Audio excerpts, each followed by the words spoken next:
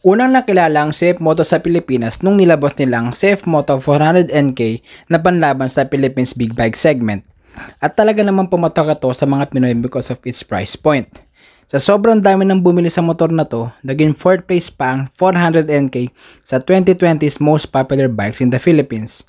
At dahil nakikilala ng Safe Moto sa Philippine motorcycle industry, naglabas pa sila ng iba't ibang models. Andiyan ang Safe Moto 300SR, Safe Moto 700 CLX, and the Safe Moto 300 NK.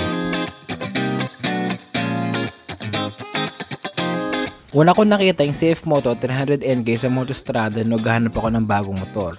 Since galing ako sa 125cc, naghahanap ako ng bigger displacement bike. At talagang nakot ng 300 NK yung attention ko. Sa unang tingin kasi, akalain mo talagang B-bike siya because of the size. At sobrang identical siya ng 400 NK. So after a month of searching and thinking kung anong motor ang kukunin ko, I ended up buying this bike. This girl and she sings quite well. I never knew that she lives alone. She believed that she could. It's single cylinder, liquid cooled, double overhead cam, 4 valves, 292cc, syempre rounded off na sa 300cc. It's CFI with a 6-speed gearbox. Fuel tank capacity is 12.5 liters. 17 inch ang gulong with dual channel ABS. At ang pinakamalapit sa lahat, naka TFT display.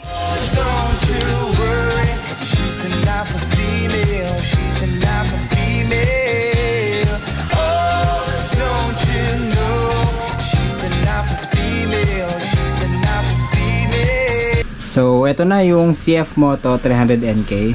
Available yung unit na to sa dalawang kulay. Yung isa, yung signature ng CF Moto, yung silver, tsaka blue na color. So, sa atin, meron tayong black. Sa unang tingin mo, mukha talaga siyang big bike kasi kamukhang kamukha siya nung CF Moto NK400.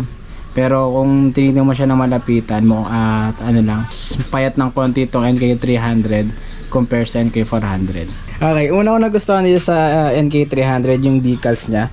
Kasi very minimalist lang, walang masyadong stripes. Talagang nakasulat lang yung NK na letters. Tapos itong 300 yung CC niya. Ayan. O, kung gusto nyo subukan mag-expressway, palitan nyo lang ng ano to, number 4 para 400cc na. Hindi, joke lang. so, dito sa tank, uh, 12.5 liter siya. Uh, sabi ko nga sa specs. So, yung una ko siyang trinay pagkasan, um, ang nilalagay ko lang kasi dito yung regular lang na unleaded. Um, from 2 bar niya, uh, na-full tank ko siya ng around 400 pesos. So, okay naman. Itong paint na, yung type ng paint ng NK300, hindi siya yung parang glittery effect na pintura. Yung iba kasing type ng paint, yung makikita mo yung pag naarawan siya or sobrang linis niya, makikita mo kumikinang-kinang siya tapos may glitter effect. At sa case na NK300, wala. Wala siyang glitter effect. Tapos ditong part na to, matte siya. Tapos, yan, push lock. Tapos itong part na to, alam ko, uh, pag gusto mo mag tank bag, meron na bibili na parang pinaka uh, adapter niya dito. Kakabit mo lang siya dyan. Tapos, ayun, pwede mo nang isaksakin tank bag dun. So, dito naman tayo sa harap, sa front look ng NK300. So, uh, lahat yan LED lights na. Tapos, meron din tayong daytime running light. Tapos, yung signal light. Tapos, meron din siyang hazard light. Uh, LED na rin siya. So, hindi mo na kailangan magpakabit ng hazard light sa mga electrician. Ayun na, meron na siya. LED na rin yan. Uh, tires sa harap, uh, size is 110-70 R17. Brand ng gulong is CST. ABS na rin by J. Juan Brakes or J. Juan Brakes. Kaya confident ako na legit yung brakes nito. So one thing pala na hindi ko nagustuhan dito sa NK300 is itong front fender. Kasi masyado siyang maikse. So kaya sa case ko naglagay ako ng radiator cover ko. Kasi pag walang radiator cover yan, big chances na kapag nadaan ka sa mga mga mababatong lugar pag tinamaan yung radiator mo at cover for sure sira yan. So dito naman tayo sa likod na part. So pinaka nagustuhan ko dito sa NK300 itong tire hugger na to.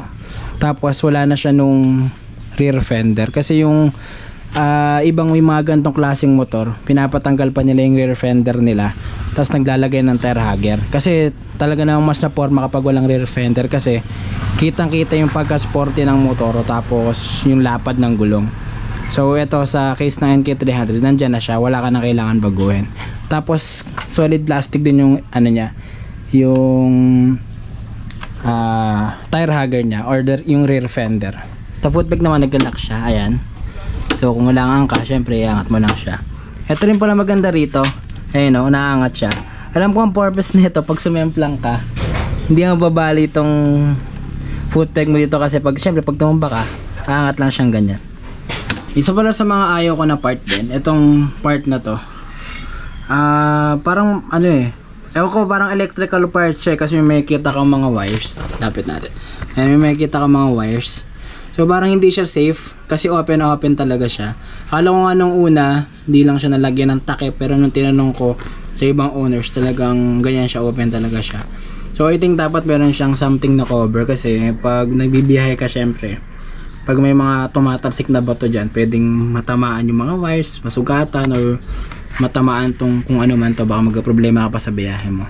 So sa, sa design naman ng swing arm niya, ah, nag-search sinerge ko kasi, yung type kasi ng chassis nung NK300 is tubular, makikita mo naman, tubo. Puro mga tubo siya. Kaya daw ginawang ganyan yung design para daw mas maging lightweight siya. Siyempre para hindi mapornada yung power ng bike. Pero mukha namang matatag yung swing arm. Kasi diba yung makikita natin ibang swing arm yung alloy na makapal. So ito, sa case niya kasi ginawa siyang lightweight kaya ganyan yung design niya. Okay, dito naman tayo sa seats. Itong type ng seats niya, maganda siya. Ito yung type na hindi ko madudulas pag nagbe-brakes ka kasi merong type na stock na upholstery. ah madulas siya. Katulad dun sa Honda Click ko dati. Madulas yung type nung seat cover niya. So ito, ito yung parang medyo malagkit na feeling. So yeah, pag nag-brake ka, hindi ka masyadong madudulas. Sa pillion, pillion seat. So medyo maliit siya compare sa syempre kung hindi mo siya makukumpara sa mga Honda Click na motor or scooter. Kasi ito talagang bike na to. Medyo sporty talaga design nito so wag kang mag-expect ng malaking upuan. So andito yung ano niya pinaka pinaka social okay. So wala kang malalagay. Siguro papel alanganin din yung ORCR mo dito eh. Kasi may mga wirings. Tapos pag babasa siya or nauulanan, medyo napapasok ng loob. So hindi siya advisable lagyan ng mga papel. So dito na tayo sa handlebars. So syempre, alam niyo naman yung CF Moto, nagtipid nagtitipid sila sa ibang part ng motor katulad ng switches. Itong switches na to, ah, hindi mo siya mako-compare sa ibang brands, especially top brands kasi mas crisp or mas malulutong yung mga switches doon. Tsaka yung itsura ng plastic or yung quality ng plastic, sobrang different. Lalo na tong sa right side, kung makikita mo, ah yung color pa lang, parang, I hindi naman sa cheap, pero hindi ganoon kaganda yung quality ng itsura. Dito tayo sa trot, sa grips. Um, ayun, rubber siya. Hindi rin siya katulad nung iba na madulas na rubber. So, kahit wala kang gloves, legit na makapit. So, ang medyo nanibago lang ako sa part na to, yung haba niya. So, kasi sa dati kong motor, yung Honda Click, medyo maiksi lang. So, naninibago ako especially kapag nagsisignal ako. Kasi kailangan, kasi ganito ako eh. Pag mag-signal ako, bapunta pa ako yun sa ako aabotin. Kasi pag from here, medyo mahirap siya abutin. Parang medyo magnanaro yung feeling mo pag ah, idadalin mo dito. So, ayun, medyo mahaba lang siya. Pero alam ko regular lang to sa mga gantong klase ng motor. Isa pa sa ayaw ko dito, itong pwesto ng horn. Kasi, ah da, supposedly dapat nandito lang yan sa part na to. Kasi pag mag-horn ako, ang layo ng inaabot ko, tinan nyo yung hands ko. Eh, yung kamay ko. Ayun o. Ang layo ng inaabot. Eh, syempre sabi ko nga, pag dito ka naman nakakapit, masyado naman narrow. Parang awkward yung feeling. So, talaga nandito lang ako sa gitna or sa dulo. So, pag mga bigla ang busina, ang hirap niya abutin. So, dapat ah, nilipat na lang dito sa part na to. Yung sa madaling abutin. So, sa side mirrors naman, sakto lang yung height niya. Ah, pantay lang naman sa handlebar. So, pag sisingit ka, hindi ka naman maiilang. Kasi pantay lang siya. So, okay lang. Ah. Okay, so dito na tayo sa pinakasulit sa lahat. Or yung pinaka-favorite kong part. Yung TFT display. Ayan. Yan yun naman. Sobrang detail niya. Tsaka, syempre, ganda ng design. Usually, makikita mo lang yung mga gantong klaseng specs or display sa mga big displacement na bike. Pero sa 300cc di ba? Napakaganda nun. So ayan meron siyang dalawang mode. Ito yung sport mode. Tapos meron siyang eco mode or rain mode. Hindi ko alam kung nag-affect sa performance ng bike pero ayun mas prefer ko tong eco mode kasi mas simple lang yung design niya. Meron pa tong features na kapag na-detect niya sa madilim na part ka na or gabi na kusa siya magba-block so alam ko nandito yung sensor diba nag-block siya ayan so try natin sa sport mode diba napakalupit naman Nasa yun, na-adjust din yung brightness niya. Pwede mong hinaan. Ayan. Ayan. Nakas. Todo niya yung todo niya. Tapos ito yung pinakamahila. So, depende sa'yo kung ano trip mo. So, meron ding time. Meron tayong trip, ah, odometer, trip A, odo, trip A, odo, trip A. Dalawa lang pala. Trip A lang, tsaka odo. Tapos meron tayong temperature. Tapos, ah, ano ba to? Fuel. fuel gauge, tapos voltmeter, tapos ayan, kung sport mode, sport mode or eco mode. Tapos ito yung gear indicator. Yan, naka-neutral tayo ngayon. Like this. Tapos, dadalhin mo sa gitna. May marinig kayo, na marinig mo yung fuel pump mo. Ayan, tapos saka mo siya i-start pag wala na yung sound. Let's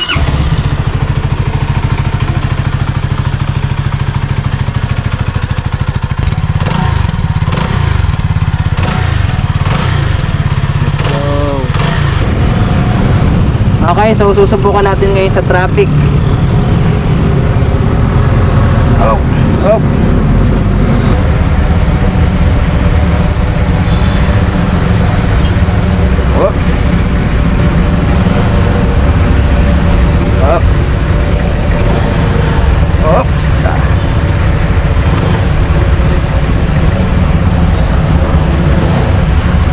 So, yeah. Yun yung mahirap na part sa kanya. Ah, medyo maliit nga yung yung kabig niya. So, katulad nung nakita nyo kanina sa mga ganong klaseng situation, mahirap talaga siya isingit. So, try naman natin ipasok sa mga maliliit. Okay. So, sa singitan naman, um, hindi naman siya ganun kahirap isingit kasi sa level lang naman mirror mo tsaka dulo ng handlebars mo is same lang. Hindi ka tulad ng iba na pag mataas yung side mirror mag adjust ka sa side mirror pati sa pagsingit so dito madali naman siya ipasok-pasok. Pero ang mahirap lang ah isisigit mo siya kapag may mga liko. Pero kung straight lang okay lang siya. Isa pa sa mga napansin ko dito sa NK300 kapag uh, nare-reach niya yung ah, certain temperature bigla na lang mag-open yung fan niya. Pero sa ingay naman ng fan hindi naman siya isa sa akin kasi tahimik naman siya. Unlike sa mga ibang bikes na kapag nag-open yung fan nila talaga namang maingay yung tipong mapapatingin yung ah, katabi mo.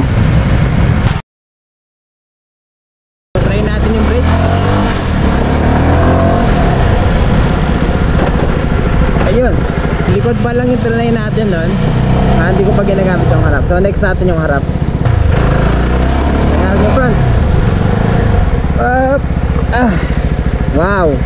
Legit. No skid sa front. Oo. So ito yung sinasabi ko yung sa fan. Ayan tumutunog siya pero hindi mo talaga siya masyado naririnig. Di, di katulad sa ibang motor na pag nagbukas yung fan sobrang lakas. Aminin na natin, pag sinabing gawang China ng isang produkto, nagdududa na agad tayo sa quality. But this time, the CF Moto continues to make a statement na kaya nilang tumabay sa quality ng Japanese counterparts at iba pang matagal na sa motorcycle industry. Which they really did. Sabi nga nila, let the product speak for itself. The CF Moto 300NK at 158,000 gives you power, looks, and specs na hindi ka bibitin. Again, kung naghahanap ka ng motor na may power at budget friendly, Safe Moto 300NK is the best for you.